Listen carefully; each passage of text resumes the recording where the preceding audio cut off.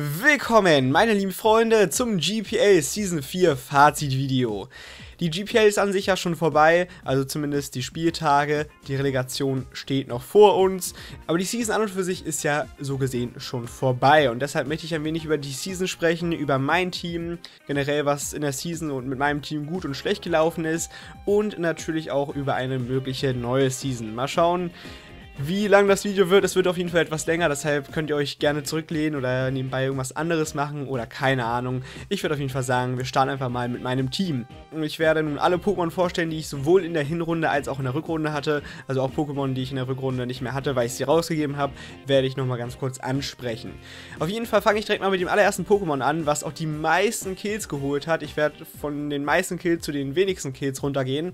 Und das Pokémon, was die meisten Kills geholt hat in der gesamten Season, von meiner Seite aus immer Magierna mit 23 Kills. Insgesamt hat es 13 Kills in der Rückrunde gemacht und es hatte insgesamt in der gesamten Season 20 Auftritte, also hat es zweimal gefehlt. Also eine recht beachtliche Statistik, wobei man sagen muss, dafür, dass viele es auch als zu OP eingeschätzt haben oder so, äh, war es jetzt auch nicht immer so gut, beziehungsweise gab es auch einige Spieltage, an denen, es, äh, an denen dieses Pokémon einfach gar nichts gemacht hat. Ich meine, das hat ja auch die Statistik so hochgehoben, weil es am allerersten Spieltag sechs Kills geholt hat und danach kam sowas natürlich nie wieder.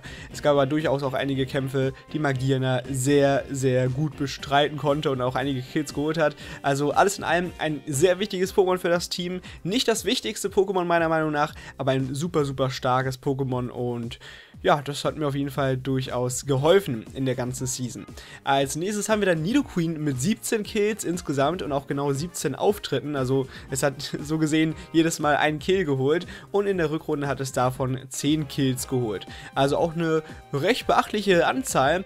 Vor allem habe ich am Anfang nicht gedacht, dass Nidoqueen so gut für mich wird, beziehungsweise dachte ich eigentlich, es wird gut, doch dann hat es einige Spieltage äh, dann hatte ich jetzt einige Spieltage dabei und mit, da lief es nicht so super mit Nido Queen und ich war nicht so super zufrieden mit der Leistung von diesem Pokémon, aber in der Rückrunde hat sich das Ganze dann doch etwas gebessert und es war sehr, sehr wichtig für einige Kämpfe, denn ohne Nido Queen hätte ich bestimmt einige Kämpfe nicht gewinnen können. Also ja, ein sehr gutes Pokémon, gibt mir viel Nutzen mit offensiver Power, aber auch defensiv kann es einiges einstecken und hat natürlich auch die Tarnsteine, die immer sehr hilfreich sein können. Als nächstes haben wir dann Snibuna Mit 14 Kills auf dem dritten Platz. Davon hat es aber nur 5 Kills in der Rückrunde geholt. Und also es hat nur 5 Kills von diesen 14 in der Rückrunde geholt. Und es hat insgesamt 16 Auftritte. Also jetzt nicht die beste Statistik, aber auch kein schlechtes Pokémon. Offensiv gesehen kannst du ihm mal sehr viel Druck aufbauen, vor allem im Endgame. Das Problem sind natürlich sowas wie Tarnsteine oder generell, dass es einfach keinen Bulk hat. Deshalb hat es jetzt auch nicht so viel gemacht, vor allem in der Rückrunde. Vor allem, weil ich da noch ein anderes offensives, sehr schnelles Pokémon hatte, was dann doch ein wenig die Show gestohlen hat, so gesehen. Und ja, deshalb hat es dann nicht mehr so viele Kills geholt. Dann als viertes Pokémon äh, auf dem vierten Platz ist Arcani mit 13 Kills. Mein Lieblings-Pokémon in der Rückrunde hat es 6 Kills geholt und es hatte insgesamt 15 Auftritte. Und das ist natürlich auch eine schöne Statistik für ein Pokémon, was sowohl defensiv, aber auch offensiv einiges leisten kann. Und ich bin auf jeden Fall zufrieden mit der Leistung von Arcani. Natürlich hätte es mehr Kills haben müssen. Äh, Arcani muss eigentlich auf Platz 1 stehen, ist ganz klar. Aber sagen wir mal realistisch, Akani hat für das, was es machen sollte, auch sehr viel gemacht. Und dementsprechend bin ich da auch sehr zufrieden. Und wenn ein Signature einiges machen kann, ist man da immer sehr zufrieden mit. Als nächstes habe ich dann Schwalboss auf dem fünften Platz. Und Schwalboss war einfach die Überraschung der Season. In der Hinrunde hat es niemand gepickt und ich habe es zur Rückrunde reingenommen. Und Schwalboss war einfach grandios. Es hat 13 Kills geholt. Damit ist es mit Magierna und ich glaube zwei, drei anderen Pokémon auf Platz 1 der Killrangliste für die Rückrunde. Das heißt, Schwalboss, ein RU-Pokémon, hat einfach genauso viele Kills wie Magierna, ein OU-Pokémon, in der Rückrunde geholt. Und es war einfach super. Es hatte zudem nur 8 Auftritte, also sogar ein Auftritt weniger als Magierna und hat einfach mehr Kills so gesehen. In der, also in, der, in einer geringeren Zeit hat es genauso viele Kills geholt wie Magieren. Also das wollte ich sagen. Ja, manchmal kommen da noch ein paar Versprecher. Nicht wundern, ne? Ich bin immer noch so ein bisschen im Urlaubsmodus, aber ich hoffe, das passt für euch. Auf jeden Fall Schwalboss, ein super gutes Pokémon, meiner Meinung nach das beste offensive Pokémon in meinem Team in der Rückrunde. Es hat einfach sehr, sehr viel gemacht. Es ist ein super guter Sweeper auch für den, fürs Ende, auch wenn es sich jetzt nicht setupen kann. Es kann aber einfach Teams zerstören am Ende, wenn der Wahlscheinnutzer weg ist und kein schnelleres Pokémon mehr da ist, kann Schwalboss einfach alles zerstören und drei, vier Kills auch noch am Ende holen. Ich glaube, das war auch das ein oder andere Mal der Fall und das hat auch manchmal einfach nur, einfach nur ein, zwei Kills geholt, aber es hat auch schon gereicht und hat einfach super gut die die Löcher in das Team reingeschlagen vom Gegner und das war deshalb eben immer ein sehr, sehr nices Pokémon, weshalb ich auch gerne damit gespielt habe. Als nächstes haben wir dann Butalanda. Butalanda habe ich zur Rückrunde rausgepackt, hat aber in der Hinrunde 11 Kills geholt und 9 Auftritte, war also auch kein schlechtes Pokémon. Ich habe aber dazu ja schon was im Hinrundenfazit gesagt. Shaman genauso, das habe ich zur Rückrunde rausgepackt und es hatte 5 Kills sogar nur geholt. Also jetzt sieht man hier ein großes Loch zwischen dem sechsten und dem siebten Platz, also zwischen Butalanda und Shaman, also hier sechs Kills Unterschied. Trotzdem, Shaman war ein gutes Pokémon auch in der Hinrunde. Ich habe es aber rausgepackt, weil ich eben was anderes haben wollte. Ich wollte mein Team ein wenig umbauen und deshalb musste Shaman leider weichen. Und dafür ist ein anderes Pflanzen-Pokémon reingekommen in einem anderen Tier, und zwar im NU-Tier. Und das war Tangela. Und Tangela hat ebenfalls fünf Kills geholt, aber hatte sogar zwei Auftritte weniger, und zwar nur vier Auftritte. Also hier das NU-Pokémon hat genauso viele Kills Kills wie das Yu-Yu-Pokémon und dabei ist Tangela jetzt auch nicht mal so offensiv wie Shaman, wobei es, glaube ich, den gleichen Spezialangriffswert hat, also beide müssen einen 100er Wert haben, aber trotzdem, also Tangela ist jetzt nicht so das offensive Pokémon, hat aber vor allem am allerersten Spieltag extrem viel gemacht. Generell ist Tangela ein sehr gutes Pokémon, es hat zwar nur ein Item, was es tragen kann und es ist eben ein NU-Pokémon, was nicht unbedingt immer so stark ist, aber das muss nichts heißen, das Tier an und für sich, denn Tagela hat ja trotzdem an einigen Tagen gezeigt, was es eben kann. Und es ist ein Pokémon, was nicht immer gut ist, also in bestimmten Matchups kann man es einfach nicht mitnehmen, weil der Gegner einfach viel zu viel dagegen hat, aber andere Gegner wiederum haben einfach nicht so viel gegen Tangela. Und da kann Tangela dann zeigen, was es kann und ein wenig scheinen sozusagen. Als nächstes haben wir dann Rotom in der Waschmaschinenform mit 4 Kills in der Rückrunde. Ich habe es ja zur Rückrunde auch ebenfalls reingenommen wie Tangela. Und es hatte ganze 11 Auftritte, also war es jedes Mal dabei. Das einzige Pokémon, was in der Rückrunde jedes Mal dabei war. Und Rotom in der Waschmaschinenform, also Rotom Wash sozusagen, ist einfach das beste defensive Pokémon für mich gewesen in der Rückrunde. Es war einfach so wichtig, hatte einen extrem großen Nutzen für mich. Und ich glaube, das war eine gute Entscheidung, Butalanda rauszupacken und dafür Rotom reinzupacken anzupacken. Auch wenn Butalanda das beste offensive Pokémon aus meinem Team war in der Hinrunde, hat Rotom mir einfach in der Defensive viel, viel mehr gegeben, als Butalanda mir in der Offensive gegeben hat und in der Defensive. Deshalb bin ich da sehr zufrieden mit diesem Wechsel. Und man hat ja gesehen, Rotom hat einfach extrem viel Arbeit geleistet und es war nicht umsonst jedes Mal dabei. Als nächstes haben wir dann Vesprit. Vesprit hat insgesamt drei Kills gut, davon nur einen in der, in der Rückrunde und insgesamt hatte es neun Auftritte. Also ein solides Pokémon, würde ich sagen, ein guter RU-Pick. Man konnte einiges damit machen, man konnte die Tarnschein immer rauslegen, man konnte ein bisschen Schale auf den Gegner raufpacken. Es war offensiv gesehen leider nicht so gut, wie ich es vielleicht auch hätte einsetzen können, denn Vesprit ist auch in der Offensive nicht allzu schlecht, nur habe ich das eben nicht so gut eingesetzt. Ich hätte wahrscheinlich eher Selfe picken sollen denn ich habe Vesprit meistens so gespielt, dass es eigentlich auch ein Safe hätte sein können, nur wäre Safe halt besser gewesen, weil es halt defensiv mehr aussteckt. Dafür kann Vesprit eben offensiv, äh, defensiv mehr einstecken, meine ich. Und dafür kann Vesprit offensiv mehr austeilen, so. Aber das hat sich jetzt nicht unbedingt bei mir so gut gezeigt. Deshalb war das vielleicht ein, jetzt ein kleiner Fehlpick, könnte man sagen. Aber ich bin trotzdem, trotzdem zufrieden mit Vesprit und deshalb brauche ich jetzt auch nicht mehr lange drüber reden. Als nächstes haben wir den Meisterriff. Meisterriff habe ich ebenfalls in der Rückrunde reingeholt. Dafür habe ich ja Shaman rausgepackt und Meisterriff war ja so der so gesehen der Notfall-Pick, denn ich hatte ja erstmal auch Mega Schwalboss, äh, Mega Taubers meine ich und tut mir leid für die Versprecher und Hariyama geplant. Beide wurden mir weggepickt in der ersten Runde, deshalb habe ich ja Schweiboss und Meistergriff reingepackt. Und Schweiboss hat sich ja extrem bezahlt gemacht, also da bin ich zufrieden mit, dass ich Schweiboss am Ende hatte und nicht Mega Taubos. Hariyama wäre aber besser gewesen, hätte ich nicht Hariyama und Schweiboss haben können. Aber Hariyama hätte einfach, glaube ich, meiner Meinung nach viel mehr gemacht als Meistergriff jetzt, mit gerade mal drei Kills und siebenmal war es dabei. Also ja, aber es war nicht schlecht. Es gab auch einige Kämpfe, wo Meisterhof einfach nicht rausgekommen ist und es hätte durchaus mehr machen können. Deshalb, es ist kein schlechtes Pokémon. Es hat jetzt vielleicht nicht perfekt in das Team gepasst, aber es war auch ein wichtiges Pokémon, weil ich in bestimmten Matchups einfach wusste, okay, Meisterriff ist da und kann sich um die gegnerischen Bedrohungen ganz gut kümmern. Also vor allem jetzt hier, wenn es die Offensivweste trägt, kann es eben so ein Trigefado ganz gut handeln oder so. Deshalb Meisterriff auch kein schlechtes Pokémon. Als nächstes dann Raichu mit zwei Kills. Das war jetzt nur einmal dabei in der Rückrunde und hat auch nur einen Kill geholt. Insgesamt drei Auftritte. Ja, was soll ich groß dazu sagen? Ein Pokémon, was jetzt nicht viel zeigen konnte, aber auch kein schlechtes Pokémon war und durchaus auch seine Daseinsberechtigung hatte. Als nächstes dann Bojelin. Bojelin, gut, hatte ich in der Hinrunde einmal dabei und keinen Kill, also so viel dazu. Dann Ordoch hatte ich in der Rückrunde keinmal dabei in der Hinrunde zweimal und dementsprechend hat es insgesamt auch keinen Kill geholt. Also ja, Ordoch. Ich habe eigentlich in der Rückrunde nur mit 10 Pokémon gespielt. Ordoch hat nicht in mein Team gepasst. Es ist kein schlechtes Pokémon für so ein Format, aber es hat überhaupt nicht in mein Team reingepasst und ich hätte von Anfang an ein anderes Pokémon draften müssen. Dann wäre das besser gewesen. Ich hätte zur Rückrunde auch Mega Ordoch oder so reingepackt, weil ich hatte ja kein Mega-Pokémon, wie man sehen konnte. Aber ich hatte keine Möglichkeit mehr, weil ich schon vier Wechsel gemacht hatte, deshalb ging das ja nicht. Und zu guter Letzt Kikli, was ich auch in der Runde rausgegeben habe, also zur Rückrunde. Das hatte 0 Kills geholt und 4 Auftritte gehabt in der Runde. Also ja, auch eine kleine Enttäuschung, aber nicht so wichtig. Wir haben ja über die besten Pokémon gesprochen und so viel eigentlich auch zu meinem Team. Und was man ja sagen konnte von Anfang an, vor allem in der Rückrunde aber dann auch, ich hatte eine große Tarnsteinschwäche, beziehungsweise hatte ich keine Möglichkeit, die Tarnsteine zu entfernen, bis auf Auflockern auf Schwalbos. Und ich erinnere mich nur zu gut, wie der liebe Timo, also der liebe Razer zu mir gesagt hat, nach dem Draft, Alter Present, du wirst niemals die Hälfte der Kämpfe gewinnen. Wie viele Kämpfe haben wir denn in der Rückrunde gewonnen? Wir haben von elf Kämpfen zehn Kämpfe gewonnen.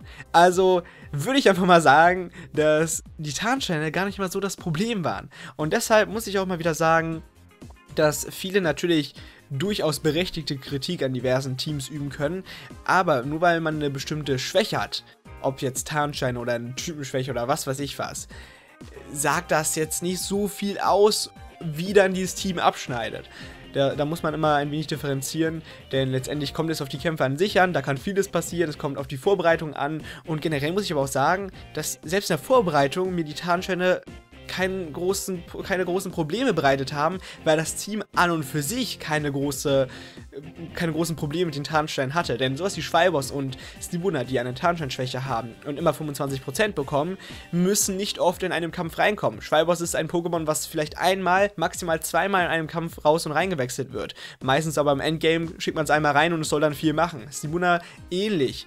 Stibuna kann man zwar etwas öfter raus und rein wechseln, dann kann es vielleicht auch ein bisschen mehr im Kampf machen, wenn die Tarnsteine liegen dann logischerweise nicht mehr. Aber das ist auch kein so großes Problem. Akani vielleicht schon eher, weil es eben defensiver auch sein kann und dementsprechend vielleicht die Tarnsteine. Aber durch die Recovery, die es haben kann und so weiter und so fort, war das für mich jetzt auch kein so großes Problem. Deshalb finde ich diese Tarnsteinschwäche, die immer wieder mir irgendwie reingedrückt wurde, gar kein großes Problem. Und nur weil ich jetzt hier einen Auflockern Schwalboss hatte, was ich sogar sehr oft gespielt habe, aber nie eingesetzt habe, ist das, ja, ist das für mich eben kein großer Ausschlagspunkt, weshalb vielleicht ein Team extrem viel schlechter sein sollte oder nicht. Man hat es ja gesehen, es hat sich ja gut geschlagen. Generell Fun Fact, ich habe in der gesamten Season, selbst in der Hinrunde, wo ich zwei Hazard Removals hatte, nie eine Attacke eingesetzt, die die Hazards entfernen sollte. Also sowas wie Turbodreher oder Auflockern. Weil die Sache ist, mein Team war und ist sehr offensiv. Und deshalb hat man ja auch gesehen, dass es das jetzt nicht unbedingt braucht, da ich gar nicht die Zeit dafür habe. Deshalb hat man ja auch ganz gut gesehen, dass meine Kämpfe sehr kurz waren. Ich hatte ja maximal so immer 18 bis 20 Rundenkämpfe, was für mich auch etwas komisch war, denn ich war immer viel, viel längere Kämpfe gewöhnt. Also zumindest immer so 30 Runden hatte ich mindestens in der Season 3 beispielsweise. So 30 bis 35 Runden waren eben Standard, denn ich hatte eben auch sowas wie Panzereron, Natara, Gastrodon, eben eher defensivere Pokémon, ein Balance-Team, was ich damals hatte. Und deshalb muss man auch sagen, dass dafür was für ein Team ich dabei hatte, ich mich ganz gut geschlagen habe. Denn das Team, was ich gedraftet habe, war super untypisch für mich. Ich hatte ein relativ offensives Team und Normalerweise spiele ich meistens mit eher Balanced Teams, also mit ausbalancierten Teams. Also mein Season 1 Team war ein Balanced Team, was gewonnen hat. Mein Season 2 Team war so ziemlich das Season 1 Team, also will ich gar nicht darüber sprechen. Deshalb lief Season 2 auch nicht so gut.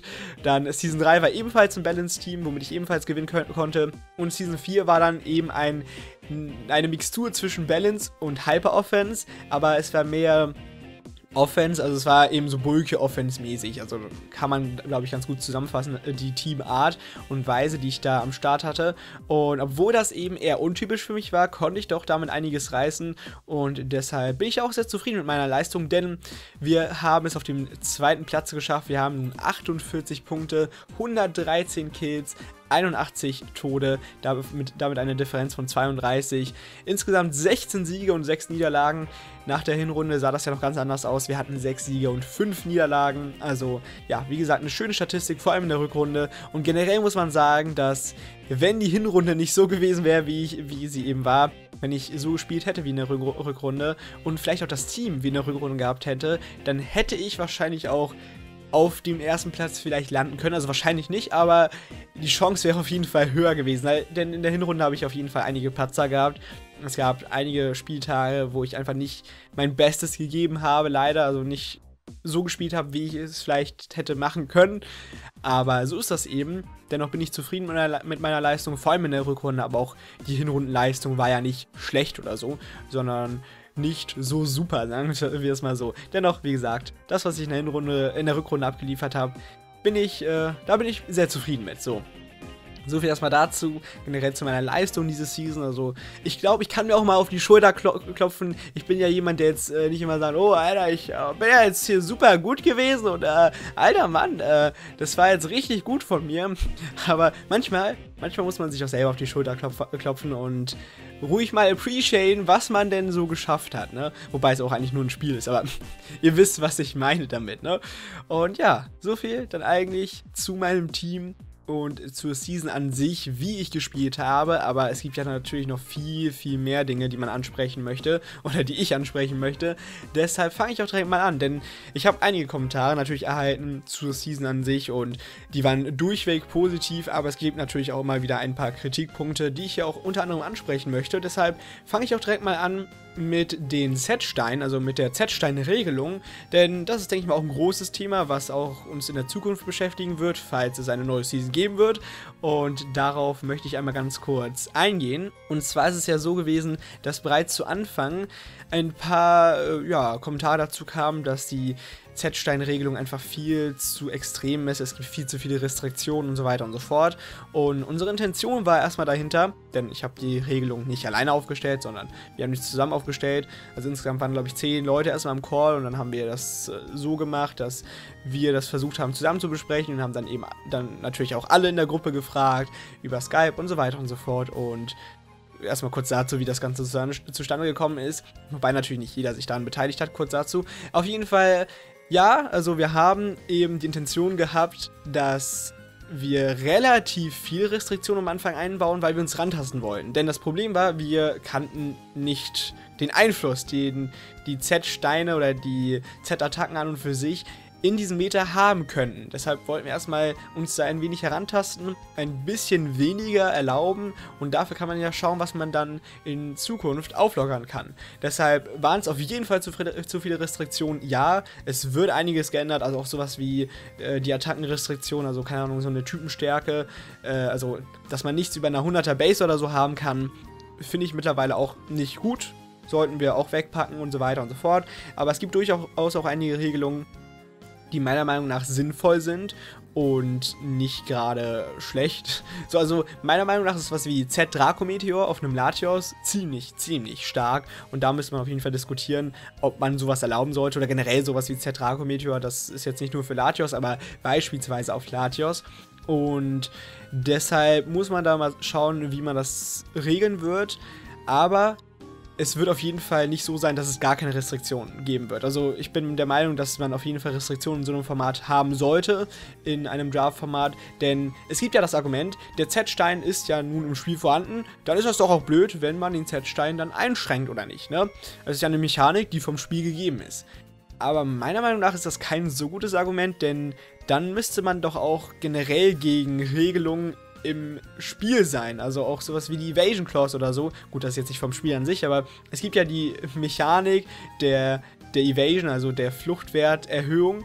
Und das heißt, wir sollten alle danach spielen oder damit spielen sollen, weil das ist ja eine Mechanik vom Spiel, die wird uns vom Spiel gegeben. Nein, eigentlich nicht. Das ist doch nicht gerade schlau, weil Evasion bringt nicht gerade viel Spaß und es sollte doch irgendwie auch etwas balancierter und fairer sein, das Meta und deshalb sollte man auch bei den Z-Steinen eben aufpassen und eine, ein paar Restriktionen einbauen. Nicht so viel, wie wir es getan haben, aber ein paar Restriktionen sind auf jeden Fall sinnvoll und deshalb finde ich eben das Argument, dass es vom Spiel schon gegeben ist, dass es eine Mechanik ist, die im Spiel implementiert ist, also sollte man sie auch benutzen, so wie sie ist, nicht gerade gut. Aber so viel erstmal dazu.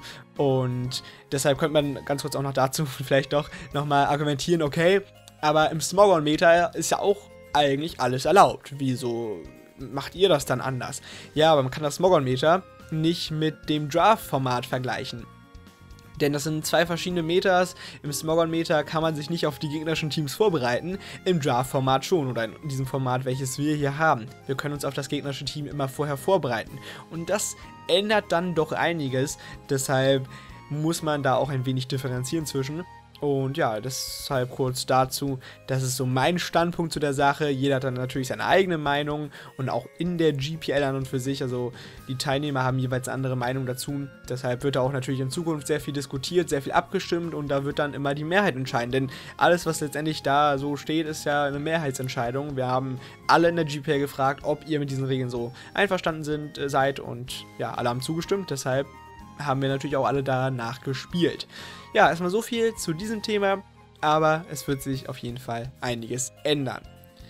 Dann kommen wir zu dem Thema, welches wahrscheinlich auch noch sehr groß ist, die GPA, die Motivation für die GPA über so eine lange Zeit. Denn diese Season hat insgesamt 22 Wochen, das sind so ziemlich 5 Monate, so in dem Dreh.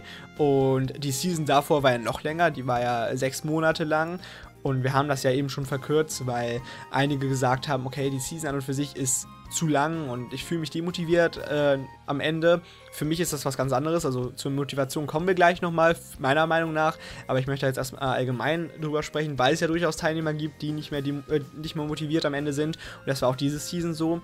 Und da gab es ja auch den Vorschlag, wie wäre es eigentlich mit Preisen in der GPL? Und meiner Meinung nach sind Preise in der GPL gleichzeitig verständlich. Also ich kann die, die, die Idee dahinter verstehen, aber auch ein großes Problem, was diese Preise letztendlich mit sich führen. Denn das Problem ist, wenn man verliert, dass man, vor allem wenn Hacks oder so auftauchen, aber auch so, dass Teilnehmer, aber vor allem Zuschauer oder die Community erst recht eben etwas stinkiger werden nach einer Niederlage und das Ganze könnte dann etwas früher eskalieren oder eher eskalieren als in manchen anderen Situationen, wo einfach jemand verliert oder eben vielleicht da irgendwelche Hacks passieren oder so. Man hat ja dieses in der Season auch die ein oder andere Sache kurz gesehen und darauf gehe ich auch gleich nochmal ein. Aber wie gesagt, das könnte bei Preisgeld oder generell irgendwelchen Spielen, wenn wir irgendwie ein Sponsoring oder sonst irgendwas in der Art uns holen würden, was ja durchaus möglich wäre, das würde das eben stark beeinflussen. Und deshalb glaube ich tatsächlich, dass die Idee an und für sich zwar nicht schlecht ist, aber ich denke nicht, dass wir in der Zukunft Preise haben werden. Vielleicht maximal ein Pokal oder so, das nicht schlecht ist. Ein Pokal also das ist jetzt eher was Symbolisches, das ist jetzt nichts, was irgendwie, glaube ich, eine große Streiterei oder so mit sich führen würde. Deshalb könnte man auf jeden Fall darüber nachdenken und das könnte es sogar sehr gut geben. War eigentlich auch schon vor zwei Seasons geplant, ist aber irgendwie nie zustande gekommen. Deshalb schauen wir einfach mal, wie es vor einer möglichen nächsten Season sein wird. Aber ja, also so viel erstmal dazu. Das könnte passieren, aber Preise an und für sich nein. Ich denke nicht. Aber wenn jetzt alle auf einmal in der GPL sagen, okay, wir wollen Preise haben, dann werden wir es machen. Aber ich weiß, dass die Meinung von vielen eher negativ dazu eingestellt ist. Einige wären dafür, aber ich glaube, die Mehrheit ist so ziemlich dagegen. Deshalb wird sich das wahrscheinlich in der Zukunft nicht ändern. Dann könnte man natürlich noch sagen, wie wäre es, das ganze System zu verändern. Denn einige sagen, dass Hinrunde und Rückrunde zu viel für einen sind.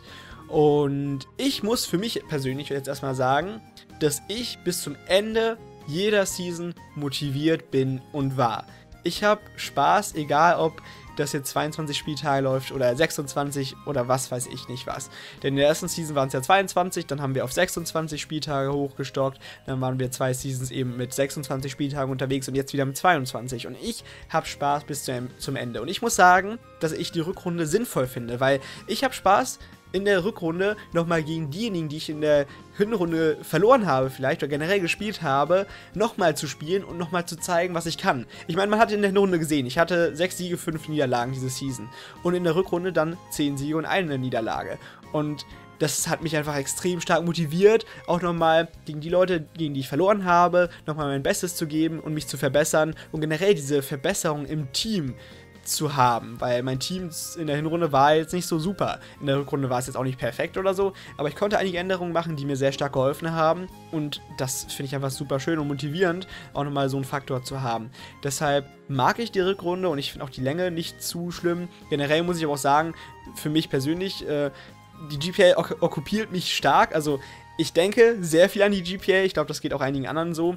Wenn ich mein Team baue, dann kann ich nicht abschalten. Das heißt, ich baue mein Team vielleicht gerade und habe noch nicht mal angefangen, mein Team zu bauen, aber ich denke schon im Bett, wenn ich unterwegs bin, irgendwo hin oder so, an den Gegner, an das Team, wie könnte ich mein Team darauf anpassen und viele Stunden und Tage sozusagen, nein, aber viele Stunden gehen schon an Gedanken verloren, nur für die GPA. Aber ich finde das nicht schlimm. Ich bin einfach jemand, der sich sehr stark in sowas hineinsteigert. Was vielleicht ein kleines Problem von mir ist, dass ich dann auch sehr schnell demotiviert sein kann, wenn ich eine Niederlage, ein, äh, wenn ich eine Niederlage kassiert habe und wusste, dass ich hätte besser sein können.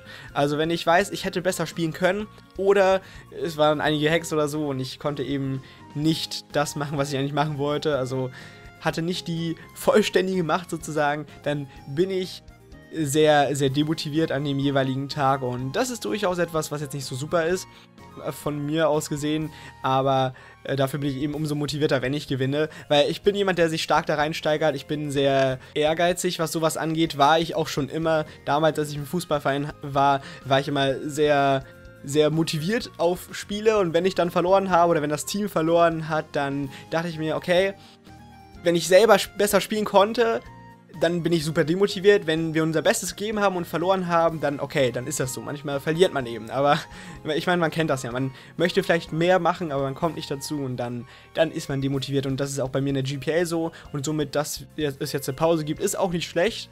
Aber ich bin trotzdem überhaupt nicht äh, jetzt dafür, dass wir sagen, okay, wir müssen die GPA stark kürzen. Ich finde die Zahl oder die Zahl der Wochen eben super, so wie sie ist. Ich kann aber verstehen, dass einige an, das Ganze anders sehen. Jeder Mensch ist, was das angeht, anders. Und ich werde jetzt meine Meinung da, dazu nicht über alle anderen stellen und egal was passiert, für diese Hinrunde plus Rückrunde sein. Wenn ich lieber einige Leute halten kann und die Mehrheit dafür ist, dass wir beispielsweise die Season kürzen, indem wir nur eine Hinrunde haben, vielleicht mit ein paar mehr Teilnehmern und dann Playoffs oder so, dann könnte es auch passieren, dass es sowas geben wird. Aber an und für sich, für mich persönlich, ich würde nur mit Hinrunden und Rückrunden spielen, also ich würde genauso das machen. Wenn ich aber dafür sorgen kann, dass eben die meisten Leute hier in der Season bleiben, also in der nächsten Season, also dass die meisten Teilnehmer nicht irgendwie aussteigen oder so oder ein Teil davon. Wenn wir das System ändern, dann werde ich mich natürlich auch dafür einsetzen, denn das wäre mir wichtiger, weil es sind so viele coole Leute in der GPL. Natürlich sind da auch noch sehr viele coole Leute draußen, die vielleicht in die GPL kommen könnten. Aber es ist natürlich schöner, wenn man irgendwie eine konstante, äh, ein konstantes Teilnehmerfeld hat. Natürlich werden nicht immer alle da sein, das ist klar. Aber man hat es ja glücklicherweise auch diese Season gesehen. Niemand ist ausgestiegen, was auch ein sehr schöner Pluspunkt ist. Und es werden natürlich neue Leute dazukommen und andere Leute gehen aus dies nach dieser Season. Aber ich möchte mich, wie gesagt, dafür einsetzen, dass viele bleiben hoffentlich und deshalb könnte es natürlich auch sein, dass sich das System dahingehend ändert und dementsprechend so viel erstmal dazu. Was ich aber generell zu Playoffs sagen kann oder sagen muss, dass ich persönlich jetzt kein so großer Fan von den Playoffs bin, weil man hat vielleicht eine konstante Leistung dann in der Season zeigen können und sagen wir mal, man steht jetzt auf dem ersten, zweiten, dritten, vierten Platz so und vielleicht ist der erste Platz um einiges besser als der vierte Platz, um zwei, drei, vier Siege und dann hat man einfach in, der, in den Playoffs ein schlechtes Matchup erwischt oder generell einfach sehr viel Pech, weil das eben Pokémon ist. Und dann scheidet man aus oder verliert eben, weil man eben relativ viel Pech hat oder ein sehr schlechtes Matchup erwischt hat. Und das ist natürlich auch etwas schade, weil dann ja, der Erste gegen den Vierten dann beispielsweise spielt und der Erste einfach viel, viel bessere Leistung insgesamt gezeigt hat, aber der vierte am Ende dafür belohnt wird. Also das ist natürlich jetzt nicht so extrem. Es kann so, zu sowas kommen, muss es auch nicht. Ist jetzt vielleicht auch nicht das stärkste Argument für, äh, also gegen die Playoffs, aber mich persönlich würde das ein wenig stören. Das heißt jetzt nicht, dass ich unbedingt die Person bin, die auf dem ersten Platz sein wird und vor allen anderen davon rennt mit viel mehr Siegen Abstand, aber wie gesagt, warum diese Tatsache, dass es so sein kann und deshalb finde ich das ein kleines Problem. Und über eine gesamte Season gleicht sich das ein wenig aus. Denn natürlich gibt es auch in einer ganz normalen Season mit Hin- und Rückrunde Hacks und schlechte Matchups und was weiß ich was. Aber das Ganze gleicht sich über die Zeit aus. Das macht den Unterschied meiner Meinung nach. Aber ich werde mich dann dem beugen, sozusagen, was die Mehrheit sagt. Und wir schauen einfach mal, was die nächste Season, wenn es eine gibt, ich sage immer wieder, wenn es eine gibt, mit sich bringt. Weil ich möchte natürlich eine neue Season machen. Ich möchte auch eine neue Season organisieren. Aber ich möchte nicht versprechen, dass dann und dann oder dass generell eine Season kommen wird. Weil ich möchte keine Versprechen eingehen, die ich nicht zu 100% halten kann. Und ich weiß nicht, ob es eine neue Season geben wird. Wir haben noch nicht mit Vorbereitung angefangen. Ich möchte mich natürlich da wieder dafür einsetzen, dass es eine neue Season geben wird. Aber man weiß nie, was passiert. Deshalb schauen wir einfach mal, was jetzt so passieren wird. Und deshalb auch ganz kurz zu diesem Thema, dass ich doch gerne auch andere Organisatoren mit ins Boot holen sollte und die Arbeit noch weiter aufteilen sollte und so weiter und so fort. Und ich muss sagen, das ist tatsächlich kein Problem für mich. Die Organisation der GPL ist zwar zeitintensiv auf jeden Fall, keine Frage, aber es ist nicht so, dass es zu viel für mich ist oder dass ich mich überfordert fühle oder was weiß ich was. Denn ich muss ja auch ehrlich sagen, und das wissen ja auch einige, das hat Timo auch immer wieder gesagt, dass ich das seit vier Seasons größtenteils mache. Timo hatte zwar äh, ist seit Season 4 nicht mehr in der GPL, organisiert die GPL so gesehen auch nicht mehr mit, aber die drei Seasons zuvor war ich auch so ziemlich immer derjenige, der fast alles gemacht hat. Und das hat Timo auch immer wieder gesagt. Timo war so ziemlich das Gesicht der GPL und ich war derjenige, der dahinter stand. Es hat sich also für mich nicht viel zu der vierten Season verändert, dass jetzt Timo weg ist. Er kommt ja vielleicht auch wieder, aber deshalb ja, das war jetzt nicht so das große Problem, deshalb muss ich mir jetzt nicht unbedingt jemanden neu ins Boot holen. Manchmal ja, versalzen auf zu viele Köche im Brei. Und was sowas angeht, bin ich auch jemand, der gerne alleine an solchen Sachen arbeitet. Ich bin auch jemand, der gerne im Team arbeitet, aber bei solchen Sachen bin ich auch jemand, der, wie gesagt, gerne auch alleine ein bisschen mehr macht. Dennoch habe ich ja auch schon einige Sachen aufgeteilt. Es gibt ja auch so kleine Sachen wie äh, Tabellenaktualisierung in der zweiten Liga, Spielplan und so weiter und so fort, die ich aufgeteilt habe. Und deshalb ist es ja nicht so, dass ich alles mache, aber ich mache das ja auch gerne. Also ich organisiere gerne so viel für die GPA und investiere die Zeit dafür. Deshalb macht euch da keine Sorgen. Und ja, also kurz zu dieser Sache. Dann, was auch nochmal ganz kurz vorgeschlagen wurde, die eine dritte Liga aufmachen oder vielleicht auch generell die zwei Ligen auf drei Ligen aufteilen oder so, dann hat man generell eine kleinere Anzahl an Spieltagen.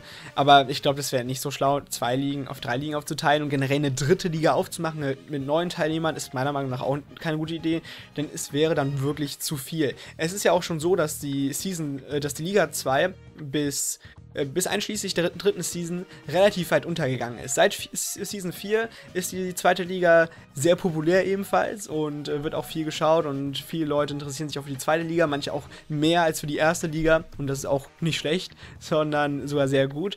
Aber ich glaube, das Problem wäre bei einer dritten Liga, dass dann zu viel da wäre. Man sollte lieber die Qualität hegen als die Quantität und deshalb bin ich der Meinung, dass zwei Ligen, so wie sie gerade sind, super sind. Mal schauen, was die Zukunft bringt, aber ich denke nicht, dass es eine dritte Liga in naher oder ferner Zukunft gibt.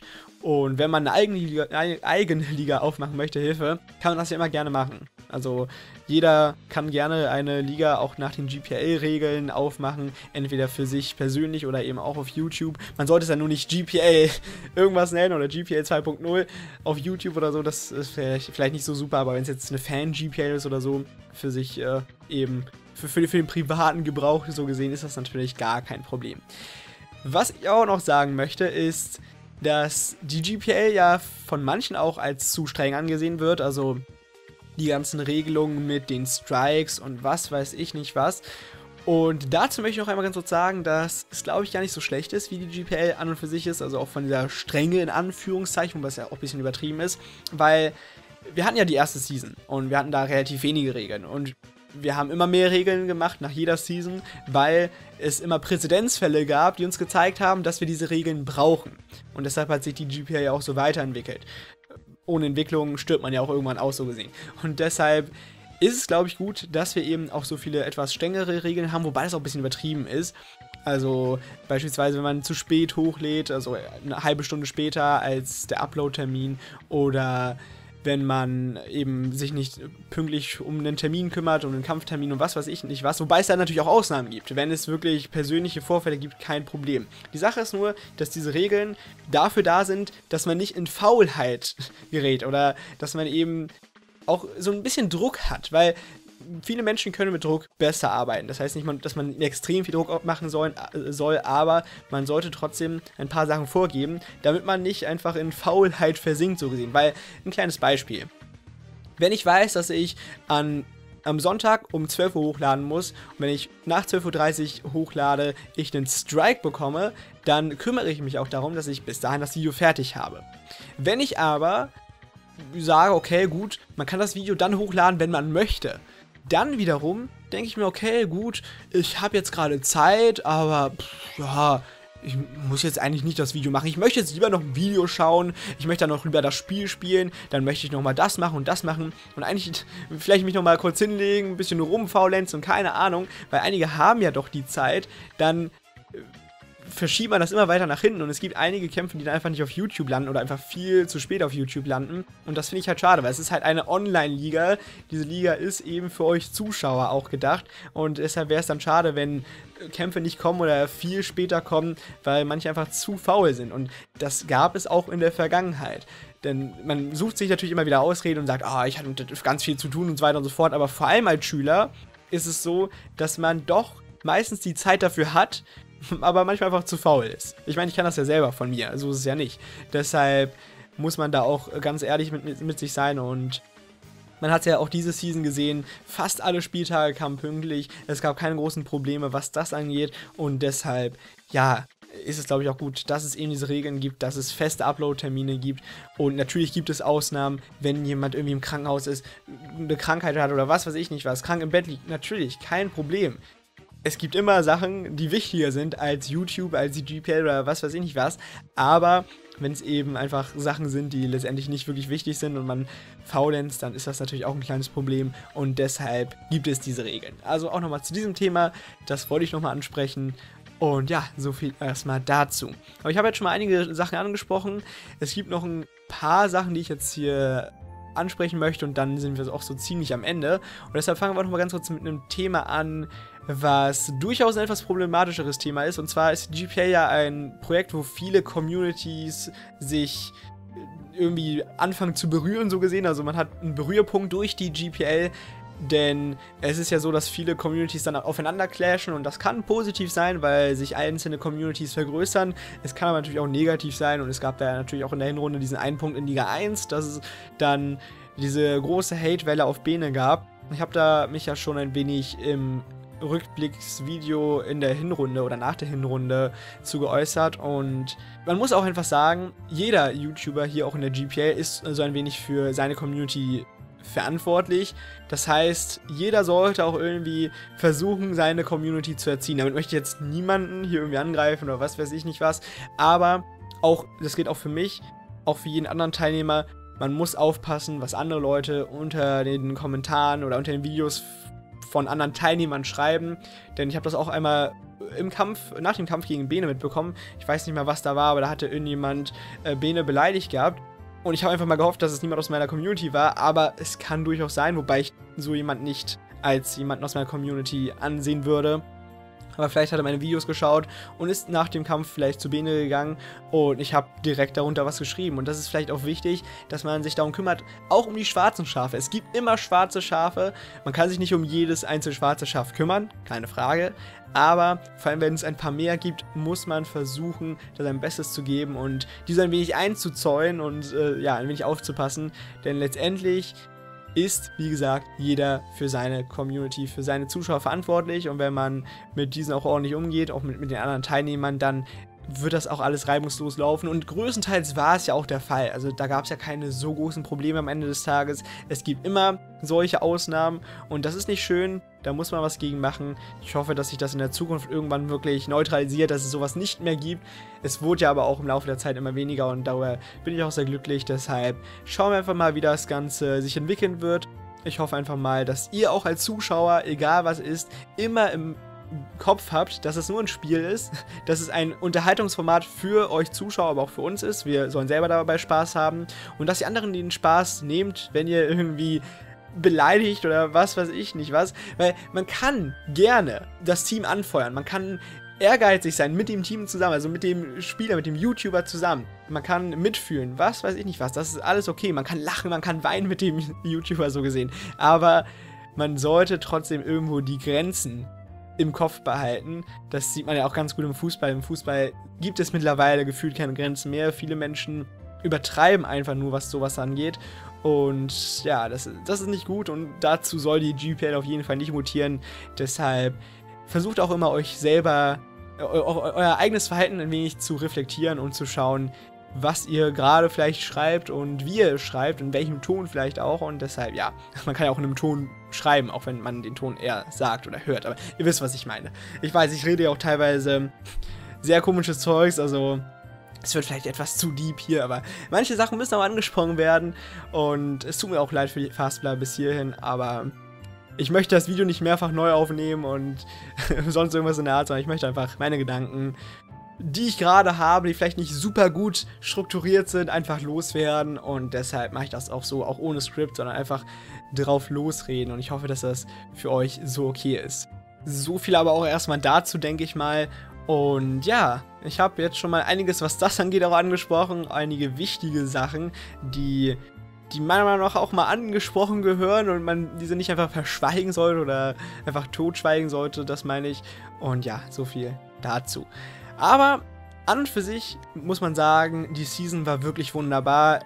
Ich bin immer der Meinung, dass die, also seit Season 1 haben wir uns nur noch stetig gesteigert. Ich fand Season 1 war super, Season 2 war noch besser, Season 3 hat mir noch mehr Spaß gemacht und Season 4 nochmal um einiges mehr. Und ich hoffe mal, dass es, wenn es eine neue Season geben sollte, auch so weitergeht und dass es in Season 5 auch noch besser wird. Und wir arbeiten alle an uns, wir werden alle älter. Ich meine, mittlerweile gibt es ja tatsächlich nicht mehr so viele Schüler in der GPL. In Season 1 war jeder Schüler, glaube ich, also nicht jeder, fast jeder war noch Schüler. In Season 4 hat sich das so ziemlich gewandelt.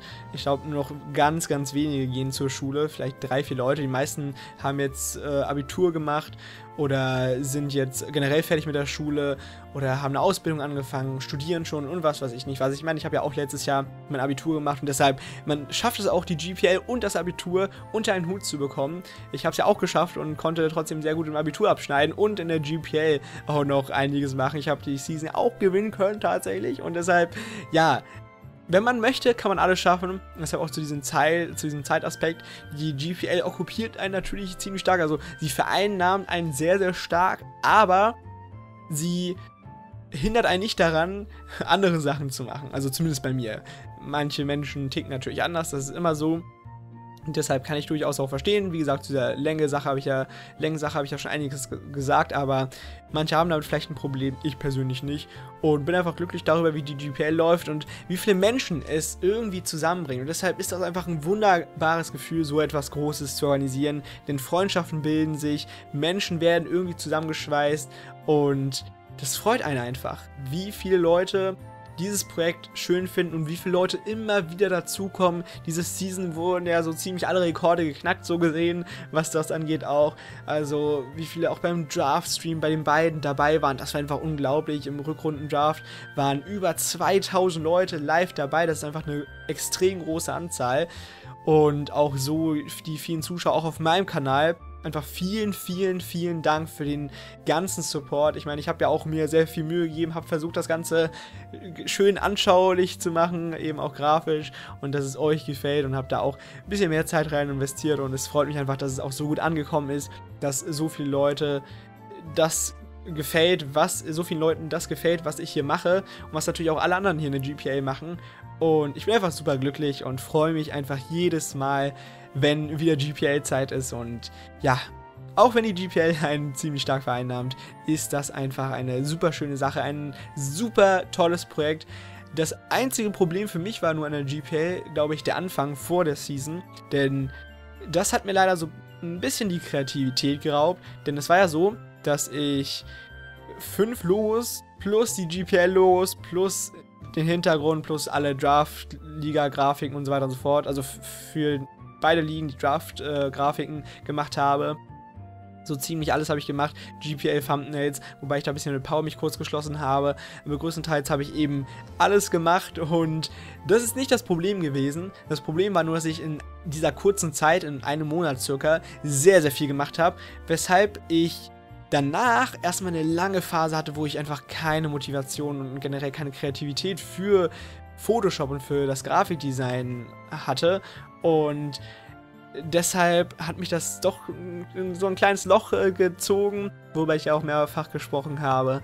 Gerade bin ich wieder auf einem guten Weg und es läuft wieder alles besser, aber das muss ich auf jeden Fall zu einer möglichen neuen Season ändern, dass ich nicht in einem Monat so ziemlich alles mache. Ich habe ja auch eben diese, ich glaube, das größte Problem war, dass ich diese fünf Logos auch noch gemacht habe, diese fünf Team-Logos.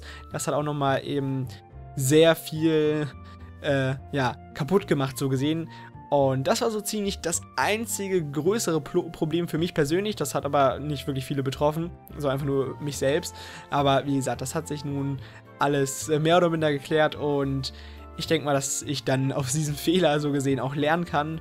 Und ja, so viel dazu. Also es gab viele gute Sachen. Natürlich gibt es immer auch ein paar negative Aspekte. Aber größtenteils war die GPA Season 4 ein voller Erfolg sozusagen, in Anführungszeichen. Eine sehr schöne Zeit, die ich verbringen konnte. Und ich hoffe, ihr konntet auch eine schöne Zeit verbringen.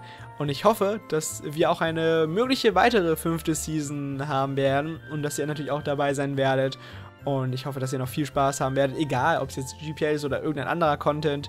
Auf diesem Kanal wird logischerweise jetzt erstmal kein GPA mehr kommen, aber erstmal auch viel anderer Content, auch ein bisschen GPA bezogen. Das eine oder andere Wi-Fi-Battle vielleicht gegen die ja zwei Teilnehmer mit den GPA-Teams, das ist schon so geplant, also freut euch auch darauf, wenn euch sowas interessiert. Ist auch vielleicht ganz cool, mal sowas zu sehen. Liga 1 Team gegen Liga 2 Team, wie sich das so verhält. Und ja, Vielen, vielen Dank. Ich weiß, ich wiederhole mich. Ich weiß, das Video war jetzt nicht super gut strukturiert. Ich hoffe, es hat euch trotzdem irgendwie gefallen. Und wenn ihr das Video bis zum Ende geschaut habt, dann schreibt, äh, vielleicht, was habe ich immer gesagt, auf eine mögliche GPL Season 5. Ganz am Ende eures Kommentars. Ich freue mich generell über alle eure Kommentare, gerne auch etwas länger. Gerne eure Meinung zu dieser Season, gerne auch Kritik, ob jetzt negativ oder positiv. Ihr könnt mir alle schreiben, ihr könnt mir Vorschläge machen für eine neue Season, egal was für Regeln. Schreibt mir alles rein. Es heißt nicht, dass auch alles irgendwie in irgendeiner Art und Weise vorkommen wird, aber es gibt immer wieder Ideen, die wir vielleicht auch nehmen können und auch umwandeln können oder generell nutzen können und das Ganze dann benutzen können, um eine schönere Season zu gestalten und ja, so viel dann dazu. Vielen, vielen Dank für alles. Man sieht sich spätestens zu Season 5. Ich hoffe natürlich früher. Man hört sich eher. Egal. Bis zum nächsten Mal. Und ciao.